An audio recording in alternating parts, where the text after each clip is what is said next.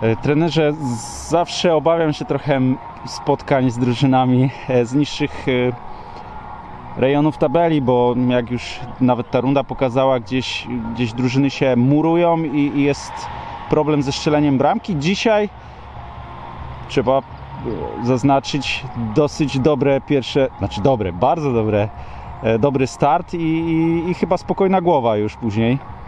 Tak, na pewno, na pewno duży, duży szacunek dla wszystkich zawodników, że podeszli do tego meczu na odpowiednim, na odpowiednim nastawieniu mentalnym, e, bo mieliśmy już nauczkę z tej rundy, mm, gdzie, gdzie traciliśmy, traciliśmy punkty z drużynami teoretycznie z dołu tabeli, e, więc naprawdę weszliśmy, weszliśmy w ten mecz świetnie, tak naprawdę mecz się ułożył do nas idealnie od samego początku do, do samego końca. Dlatego cieszymy się z tak okazałego zwycięstwa, cieszymy się, że udało się zdobyć tyle, e, tyle bramek i, i pędzimy dalej w realizacji naszych celów i marzeń. E, Ja zawsze zadaję jakieś pytanie podsłuchane z, z ławki. E, Nie, całej wymiany zdań nie będę przytaczał, ale przytoczę zdanie trenera. Oczekuję od zawodników intensywności, nie bramek. A dzisiaj no, wynik 8-1. Bramki są te, ty- tym, tą rzeczą, dla którą przychodzą kibice, więc mieli co oglądać. A na intensywność chyba też nie mogliśmy dzisiaj narzekać i trener będzie zadowolony z, z zawodników. Tak, zdecydowanie intensywność była na dobrym poziomie. No, generalnie staramy się pracować w taki sposób, żeby e, z jednej strony nie łamać się po wyniku niekorzystnym, a z drugiej strony niepotrzebnie e, na pochybel cieszyć się po wyniku pozytywnym, więc, więc skupiamy się na swojej pracy. Naprawdę intensywność była na dobrym poziomie. To było, to było moim celem, moim kluczem, że niezależnie od wyniku sportowego oczekujemy od siebie dużo.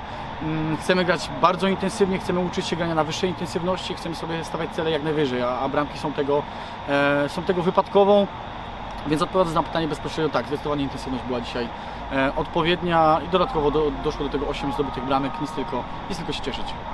Na pewno drużyna z, z wielką radością taki, taki wynik przyjmuje. Chłopakom to doda jeszcze bardziej skrzydeł. Dzisiaj na pewno uskrzydlonym po spotkaniu może być Daniel, który strzela trzy bramki i, i no, szukam w głowie i, dawno nie, nie było hat-tricka z naszej strony na, na tym stadionie, więc tym bardziej się cieszy człowiek. Tym bardziej, że mówimy o stoperze, o środkowym obrońcy, co dodaje smaczku tego, temu, temu rezultatowi e, Daniela. No dzisiaj generalnie stałe fragmenty gry były na wysokim poziomie, bo tak naprawdę wszystkie trzy bramki Daniela zdobyte po stałych fragmentach gry.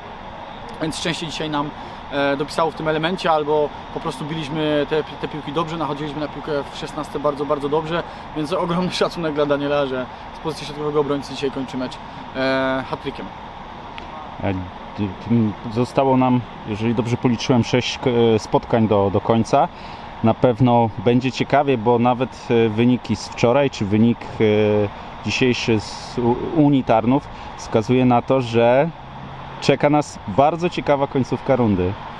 Tak naprawdę końcówka rundy odpowie nam na wszystkie pytania, dlatego bardzo się cieszymy. Lubimy takie mecze, lubimy takie momenty. Myślę, że dla zawodników i dla nas wszystkich to są najfajniejsze etapy przygody, przygody z piłką, gdzie będziemy mieli wszystko we własnych nogach. Jest sześć kolejek, e, sześć kolejek z drużynami, można powiedzieć, topowymi, mm, które, które, z którymi bezpośrednio będziemy walczyć o, o najwyższe laura tej lidze, więc czeka nas na pewno fajny czas, na pewno emocjonujący czas, na pewno czas, w którym będziemy mieli opcję, e, opcję okazję, e, okazję się rozwijać, rozwijać a, a wszystko pozostaje w naszych nogach i głowach. E, Już za tydzień jak spotkanie, które zawsze ma tą iskierkę dodatkowych emocji, mecz z Tarnowią u nich. Czy, czy jakichś zmian się możemy spodziewać, czy tak jak to trener ma w zwyczaju, czekamy do treningów i do, do, do jakiegoś tam ostatniego treningu? Na pewno dzień dzisiejszy, dzień jutrzejszy poświęcimy sobie na analizę tego meczu, bo to, że wygraliśmy wysoko 8-1 nie oznacza też, że, że byliśmy perfekcyjni, a dążymy do perfekcji, więc na pewno dzień dzisiejszy, dzień jutrzejszy przed treningiem sobie zrobimy analizę jeszcze meczu e, dzisiejszego. Od wtorku już będziemy się skupiać tylko i wyłącznie na Tarnowi, odpowiadając na pytanie, oczywiście skład e, dowiemy się w dniu w meczu, bezpośrednio przed, przed spotkaniem, a cały tydzień zawodnicy będą mieli e, na pokazanie swojej, swojej jakości, swojej, swojego charakteru i po prostu swoich umiejętności gry, e, gry w piłkę, a, a 11 wybrańców dowie się o tym przed samym meczem. Dziękuję bardzo trenerze za wywiad. Jeszcze raz gratulacje. Bardzo dziękuję. Dzięki bardzo.